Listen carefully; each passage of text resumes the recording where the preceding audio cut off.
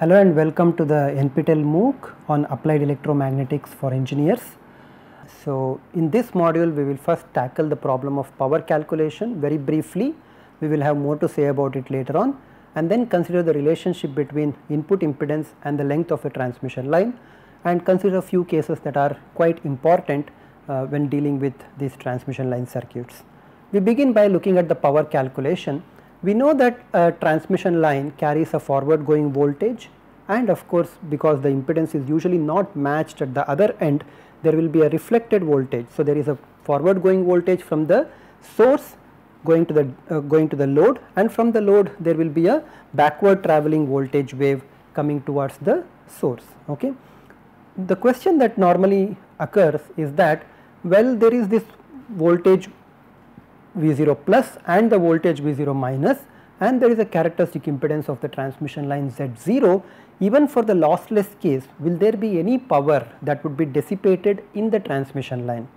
Turns out that for a lossless transmission line no power will be dissipated in the transmission line. Eventually the entire power from the source will be delivered to the load. Okay. A more detailed analysis as I said will follow in a different module. For now let us just look at very briefly what is the power carried by the transmission line, what is the power that is carried backwards and what is the relationship between all this. Okay. So, let us dig right in by assuming that the source is a phasor okay, producing a voltage some V0 e to the power minus j beta z and I have a source whose current is again a phasor producing a current of I0 e to the power minus j beta into z. Okay. Please note that these are phasors, the corresponding expressions in terms of time and z is given by after converting this phasor into a proper uh, equation what will you get this would be V0 cos omega t minus beta into z. Similarly, the current that you are considering as a function of both time and z will be the current I0 cos omega t minus beta z. Suppose I consider some constant z plane, okay, it does not matter what plane that we are considering, but suppose we consider a constant z plane in which case it can simply represent a source, okay, it does not even have to represent a transmission line. So, for this constant z plane, what would be the average power that is dissipated? So, what is the power that is dissipated instantaneously? That is Vs of t multiplied by Is of t in a given resistor uh, well I do not need a resistor here because I know the current Is here and then you average this one over the time. What is the time average? Suppose x of t is a function of time then the average of this x of t over a time t is given by this integral 1 by t integration over any time period t x of t into dt. Okay. If you find what is this average power you can see that the instantaneous power will be cos omega t consider z equal to 0 a constant plane. So, that this would be V 0 I 0 cos square omega t integrated over one time period of this uh, time variation uh, which will be related to omega what you get is V 0 I 0 by 2. In fact, this relationship you already know because the peak value of the voltage is V 0 by root 2 sorry peak value is V 0 the RMS value is V 0 by root 2 the RMS current is I0 by root 2 the product of these two will give you the average power. Okay. Now, we have a transmission line whose positive going voltage is given by V0 plus peak value e to the power minus j beta z. Similarly, the current that would be carried will be I0 plus e to the power minus j beta z. Okay. Again these are essentially phasors that we are considering you can go from the phasor to the average power. When we do that there is a small problem that might come up. Okay. In general I know that I0 plus can be written as V0 plus divided by Z0 even when you consider V0 plus to be a real quantity which sometimes it may not be Z0 to be a real quantity then there is no problem. However, in general for a lossy line Z0 is complex or even when the line is lossless V0 plus might be complex. This complex only indicates that this source is having a certain phase difference with respect to the current and that could be for a different reason. Okay. So, what is the power that is carried by this positive going voltage? you will have to multiply these phasors after converting these phasors into the time domain multiplying and then writing this and it will turn out to be V0 plus square divided by 2 into Z0. In this case we are considering the characteristic impedance to be Z0. In general this can be written as V0 plus magnitude square divided by 2 Z0 case. Z0 is considered to be real. Without doing any work if I were to ask you what would be the power that would be carried by the negative going voltage you will be able to write this as V0 minus square divided by 2 Z0 correct. So, when you write like this V0 minus magnitude square by 2 Z0 you know that V0 minus can be related to V0 plus through the load impedance gamma L and this load impedance gamma L will then tell you the amount of power that would be reflected. In fact, gamma L was always giving you the ratio of the reflected voltage V0 minus to the incident voltage V0 plus. This time when you substitute for V0 minus from this expression into this expression for the power carried by the voltage in the backward direction this turns out to be magnitude gamma L square times V0 plus magnitude square divided by 2 Z0. If you identify this power with the incident power then the power that is reflected will be given by magnitude of gamma L square times P incident. Okay. So, you see that this is given by magnitude L square into P incident and therefore, the ratio of the power that is reflected to the power that is incident is simply determined by gamma L or the magnitude of gamma L. Okay. Now, you might ask what happened to the lossless condition that we derived? Well, we only did half the part right. We considered the source to have generated a voltage, the voltage came hit the load, but the load was not matched the characteristic impedance therefore produced a reflection.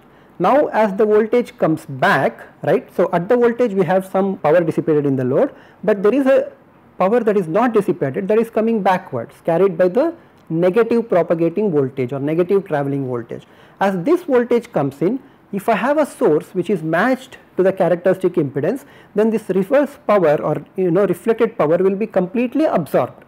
If that is not absorbed, then there will be one more reflection here which will then carry some power and because reflection magnitude is less than 1 the power carried again will be less then there will be power carried backwards and this infinite series will happen such that every time there is a reflection the amount of power carried by that particular voltage will actually go down and down and eventually reach to 0. I did not say that in a lossless transmission line the moment you connect the load I mean the, the power will be dissipated it actually goes at infinity I mean it can potentially be at infinity, but if you terminate one of the ends with a characteristic impedance uh, so that there is a proper matching happening then there will not be any further reflection and all the power will be delivered to either the source or the load wherever you have achieved the power match. Usually you want to achieve the power match at the uh, at the load side okay. But this is something that you have to remember. So, the reflected power is given by magnitude of gamma L square times incident power and the difference between these two will be the one that would be delivered to the load. There is one additional way of deriving this relationship. I know that time average power has to be magnitude of the voltage square divided by 2 Z naught considering this is the time average power right considering only the lossless transmission line case that I am considering. Okay. So, this is the power that is actually carried by this is the average power that is carried by forward going voltage. I can obtain this by this particular mathematical relationship. I take half real part of V0 plus I0 plus complex conjugate right. Let us go back where this V0 plus I0 plus are not just ordinary V0 and I0 that you know, but these are the phasors that we are considering. So, if I know the phasor forms of these, so I know this is nothing but half of real part of the phasor for the forward going voltage is amplitude V0 plus e power minus j beta z. The phasor for forward going current will be I0 plus which can be written as V0 plus by Z0, but more importantly because I am complex conjugating this one, this becomes conjugate here, the amplitude gets conjugated okay and e to the power minus j beta z becomes e to the power plus j beta z. Clearly this into this will be equal to 1 and I0 plus complex conjugate can be written as V0 plus complex conjugate divided by Z0 assuming Z0 to be real and what I get is half of V0 plus magnitude square divided by Z0. So, you have to remember this if you know the phasor forms you can take the voltage phasor, current phasor, conjugate the current phasor. So, take the voltage phasor, current phasor, conjugate the current phasor, multiply by uh, both of them okay. So, that the terms e power minus j beta z and e power plus j beta z cancel with each other and give you a product of 1 and you get the average power okay. You do not have to uh, I mean this is the way to show that you get the average power using the phasor relationship. So, this was all about simple power calculation we will not do the exercises related to that, but what I want to do in the rest of the module is to give you some interesting inputs about the value of the input impedance of a transmission line whose length is some L and how is it connected to the load ZL. Okay. We consider again the transmission line of characteristic impedance Z0. This could be terminated in a variety of loads. We can denote this load as ZL Please note that this ZL is not indicating an inductive load, it could be any load that I am considering just the way that I am denoting this ZL in this denotation the, capital L stands for load not for the inductor.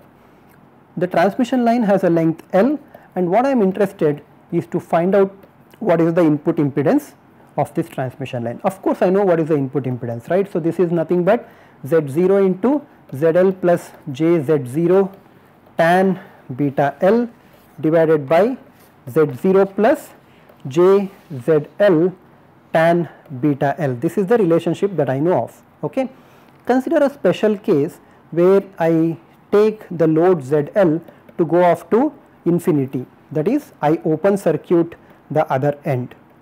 So, when I open circuit let me denote the input impedance seen from the transmission line as ZOC okay. So, this is the situation that I am considering I have open circuited the transmission line terminals and I am trying to measure what is the input impedance here of a transmission line whose characteristic impedance is Z0 and a length of L.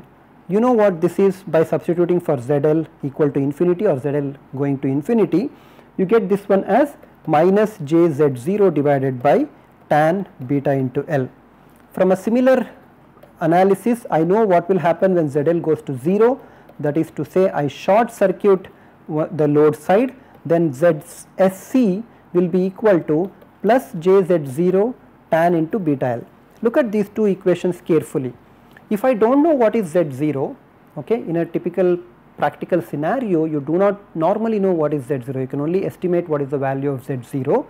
If I do not know and I want to measure Z0 there is a very simple procedure for us to follow or of course it has its problems, but looking at the equation there is a simple procedure. I can take the transmission line, open circuit the other end, ensure that this end is open circuited so that no current flows in, measure the input impedance here. What I will be measuring is ZOC.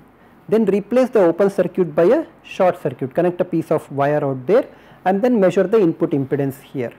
When I take the uh, two measurements, then I can multiply this ZOC and ZSC and take the square root of this to obtain Z0. You can see that very easily right. So, multiplying both sides will give you um, multiplying both terms will give you will cancel out tan beta L on both sides minus j and plus j multiplication will give you 1. So, the numerators Z0 and Z0 will give you Z0 square. So, when you find ZOC and ZSC you can find out what would be the characteristic impedance Z0. In fact, if I take a printed circuit board and then I want to measure the epsilon r the relative permittivity of this one okay one way to measure the relative permittivity is to actually draw two microstrip lines over here identical microstrip lines okay? One microstrip line is left open circuited the other one is short circuited by connecting it to a ground plane via you know by actually drilling a hole and then connecting a short circuit by placing a small conductor so that it goes down and connects to the ground plane. And from the other end connect a voltage source. So, you can connect a voltage source or you can connect an impedance measuring bridge over here, measure the impedances on the two ends. From there you find out what is Z0 and we will later show that Z0 is given by, I mean we already know that for a lossless line it is given by square root of L by C, but this C will be dependent on the permittivity epsilon r. So, which then allows you to find out what is the permittivity or estimate the permittivity. This is not a very accurate method, but for most applications this method is alright. So, this is how you can actually use the knowledge of the measurement of the input impedance okay, for various conditions of the load in order to estimate the unknown value of the characteristic impedance itself. In practice this is not exactly how it is done, but I just told you that it could be one, it is not very accurate, but okay for some applications or most applications. Let us go back to the input impedance expression okay and I want to consider again only the special case of short circuited load. I know that short circuited load is given by or the input impedance of the short circuited load is given by plus jz0 tan into beta L. I know what is beta, beta is given by omega by up and for this transmission line I know that up is given by 1 by square root LC right and therefore I can write beta as omega into square root LC where L and C are the distributed inductance and capacitance values of this transmission line. So, I go ahead and write that one and instead of writing this small l I will write this as delta where delta is a small distance away from the load. So, you can think of this transmission line which has been short circuited and this length of the transmission line is this delta that I am considering. What is that length I mean what is the input impedance seen here of this uh, short segment length you can obtain that one by going back to this expression. So, beta will be equal to omega square root L C. So, you will get j and I know Z0, Z0 is nothing but square root of L by C and tan beta delta can be approximated as beta into delta because I am considering delta to be very small. So, the length of the transmission line is very small compared to the wavelength. So, I can do a small angle approximation and write this as beta into delta. Beta is omega into square root LC and delta is of course the length of the transmission line. You can see here that square root of C can be cancelled and what you get is j omega L into delta. Thus, a very short piece of transmission line which has been short circuited on the other end, the input impedance just above about a small distance delta from the from the short circuited line actually gives you reactive impedance. In fact, you can vary the frequency and change the amount of reactance that you are going to see, right. Uh, well of course you change the frequency then lambda changes so the value of delta will not be the same it has to also change but you get the idea. You can actually get in fact if you do not do this approximation just assume that you can change the frequency omega then omega changes, f changes, lambda changes, lambda and L relationship changes, beta into L product changes, tan beta L will change giving you any value of reactance that you want. In fact, if I plot the reactance as a function of beta into L for this transmission line, you will see that when beta L is small and 0, the reactance is you know 0 already and as beta L goes towards pi by 2, the reactance rises to infinity. So, at pi by 2, the reactance would have become plus infinity. This is when you have short circuited the load okay, and you get a inductive impedance over this side.